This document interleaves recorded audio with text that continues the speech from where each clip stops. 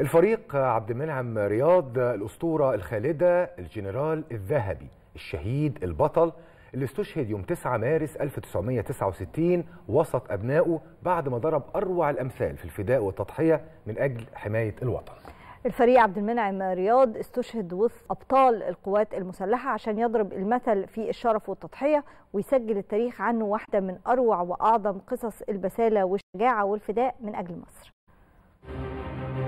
أنا لست أقل من أي جندي يدافع عن الجبهة ولا بد أن أكون بينهم في كل لحظة من لحظات البطولة. كلمات قليلة في العدد كبيرة في المعنى. كتب بها الشهيد الراحل الفريق أول عبد المنعم رياض دستورا له. سار عليه حتى استشهد وسط جنوده. الجنرال الذهبي عبد المنعم رياض بطل مصري. كتب بدمائه تاريخا مميزا وحفر اسمه وسط عظماء مصر الذين سيظل اسمهم يتردد على ألسنة كل الأجيال.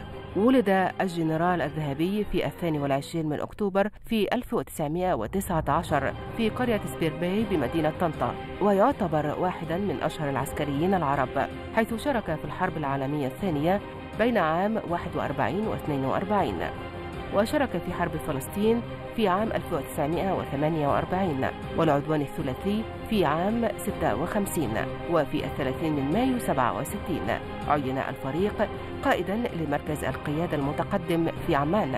وأعلن قائدا عاما للجبهة الأردنية ولكن لم يمض أسبوعا حتى استدعى الرئيس الراحل جمال عبد الناصر ليعينه في الحادي عشر من يونيو رئيسا لأركان حرب القوات المسلحة المصرية.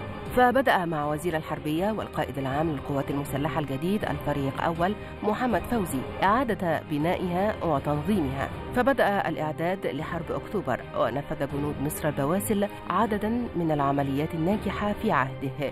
خلال حرب الاستنزاف التي أسفرت عن تدمير 60% من تحصينات خط بارليف الذي تحول من خط دفاعي إلى مجرد إنذار مبكر. كما كان له دور بالغ الأهمية في تدمير المدمرة الإسرائيلية إيلات في الحادي والعشرين من أكتوبر في عام 1967 كما أنه صمم الخطة 200 الحربية التي طورت بعد ذلك لتصبح خطة العمليات في حرب أكتوبر.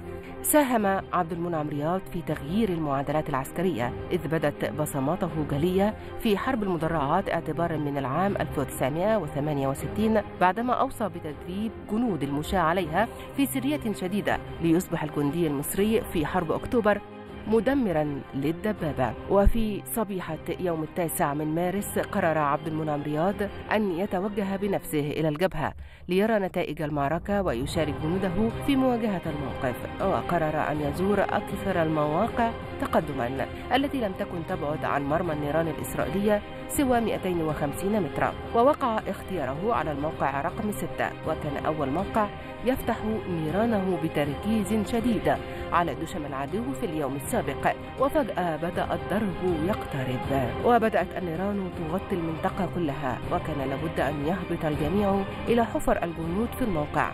شهد هذا الموقع الدقائق الأخيرة في حياة الفريق عبد المنعم رياض حيث انهالت نيران العدو فجأة على المنطقة التي كان يقف فيها وسط جنوده واستمرت المعركة التي كان يقودها بنفسه حوالي ساعة ونصف الساعة إلى أن انفجرت إحدى الطلقات المدفعية بالقرب من الحفرة التي كان يقود المعركة منها.